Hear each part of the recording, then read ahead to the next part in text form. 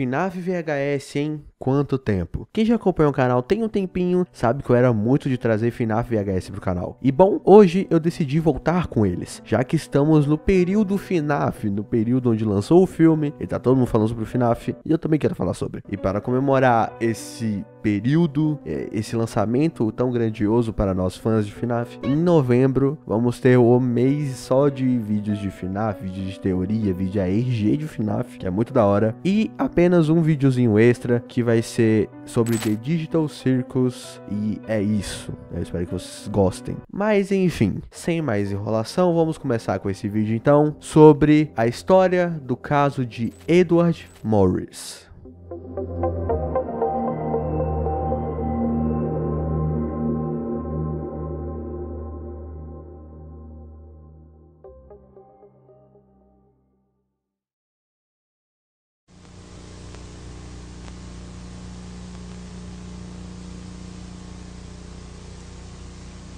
O vídeo começa com uma gravação em primeira pessoa. Ainda não sabemos quem é essa pessoa e nem o motivo pela qual ela está ali. Mas enfim, essa pessoa se aproxima mais de uma porta onde a mesma está trancada. E ao ser analisado melhor esse local, vemos que supostamente pode ser um escritório. Temos até uma mesa com uma pequena luminária. A cena é cortada para uma foto. A foto daquela mesma porta. Porém, agora ela está aberta. Corta a cena novamente e voltamos para a visão da câmera. Só que agora estamos dentro da sala. O que deixa tudo bem mais interessante. Agora, ao olharmos para o lado, percebemos que temos em cima daquela mesa que vimos antes um Bonnie que está completamente zoado. Ao explorar mais um pouco, a pessoa que está gravando acha algo que, sinceramente, eu não gostaria. Ela acha os outros três animatronics, Fred, Chick e Foxy. Corta a cena e vemos uma foto bem embaçada, uma foto dos três juntinhos. O vídeo volta, só que ele volta bem mais de perto. Vemos agora bem de pertinho como estão os outros três três animatronics. O clima é meio tenso. Você sente que algo pode dar de errado a qualquer momento. Ok? Em todos esses anos nessa indústria vital, essa é a primeira vez que deixam o Fred cair no chão, moleque. Essa que ele deixa o Fred cair, ele começa a olhar para os lados meio assustado, mas ao olhar em direção ao Fred novamente, puff, Cadê o Fred? E novamente nos é mostrada uma foto do que tá rolando. E vemos como o Fred tá todo caído ali, tadinho, todo coisado. Até parece que tá de ressaca. O vídeo volta para o cara fechando a porta. Ele verifica se tá tudo certo, mas ele é interrompido por um barulho quase ensurdecedor. A sua câmera começa a bugar muito e ao olhar para trás, ele vê Bonnie apontando para algo desconhecido. Muito confuso, ele chega mais perto para ver o que tá rolando. Ele então olha para o lado em que Bonnie está apontando e não encontra nada. E depois de muito, muito bug, a câmera finalmente para de travar. Nisso, chegamos mais perto do Bonnie. Tá, isso é preocupante de fato. Bonnie está agora apontando para o pleno breu e falando estranho. É, meu amigo, eu corria e não era pouco. Bonnie continua apontando e repetindo a mesma coisa, até que uma pequena música começa a tocar levemente de fundo. Stranger. A pessoa que estava filmando então olha para trás e isso acontece.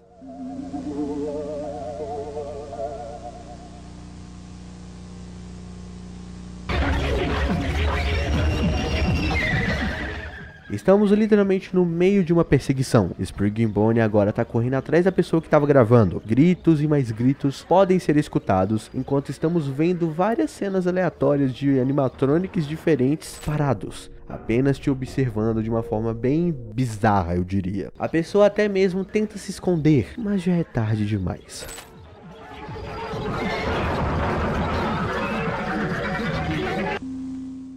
A cena é cortada e agora estamos naquele mesmo cenário que já apareceu antes. E Bonnie está lá, parado, apenas te observando, até que ele começa a falar com você.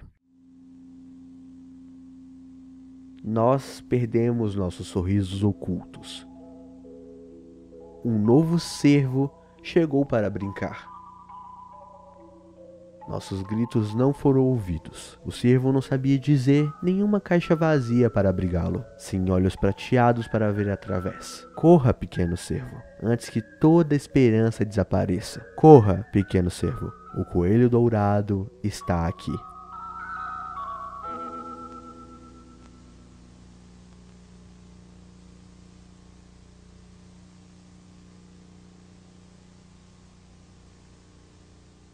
Edward Morris, de 15 anos, foi encontrado morto dentro da ventilação do Fred Fazbear's Jr. após reclamações de um cheiro horrível que inundou a pizzaria. Edward Morris desapareceu depois que seus amigos o desafiaram a se esconder no prédio até que o local fosse fechado para reunir evidências de que essa pizzaria era mal assombrada. Embora não esteja claro se a família de Edward tomará alguma ação legal contra a pizzaria, a Fazbear Entertainment afirmou que não é responsável pela morte de Edward ou pelo homem visto vestindo um traje amarelo. Este é um anúncio de declaração pública para que você esteja ciente do perigo de estar sozinho em qualquer lugar onde não deveria estar. Você pode estar colocando a sua própria vida em risco. Então, esteja seguro, seja inteligente e fique longe desse homem.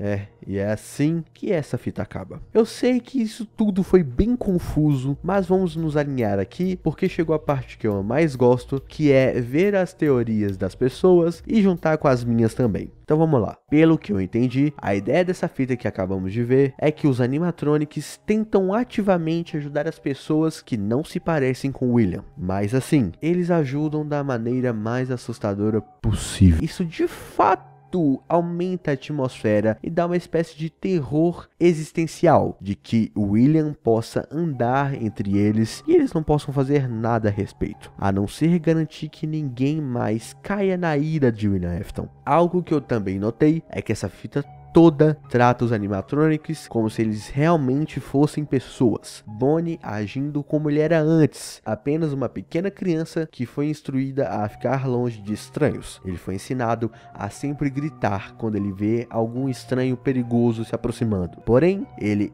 infelizmente foi mais uma das vítimas de William Afton, ou melhor, o Coelho Amarelo. E temos mais uma coisa: o poema, entre aspas, de Bonnie sobre Edward, que sinceramente é deprimente. Um novo cervo veio brincar. O cervo não pôde ficar. Mas afinal, o que caralho seria o cervo? E pelo que eu entendi, o cervo é como se fosse as vítimas de William. E Bonnie, quem estava falando todo aquele poema, Mano, é um domingo. Quem é que faz barulho num domingo, velho? E Bonnie, quem estava falando todo aquele poema, estaria ali para representar um espectador de tudo que aconteceu com Edward. Nessa, as crianças vendo Edward simplesmente vagando pela pizzaria como se fosse nada, eles tiveram medo que ele se tornasse uma outra vítima de Efton, o que de fato aconteceu. Na parte que eles falam, nenhuma caixa vazia para abrigá-lo, Efton não podia enfiá-lo em outro traje Então, o que o gênio escolhe? Ele me escolhe as aberturas das ventilações. Esse cara é psicopata e tem barulho demais na minha rua. Corra, pequeno servo. Eles não querem que outro se junte a eles nessa tortura. Ok. Tá.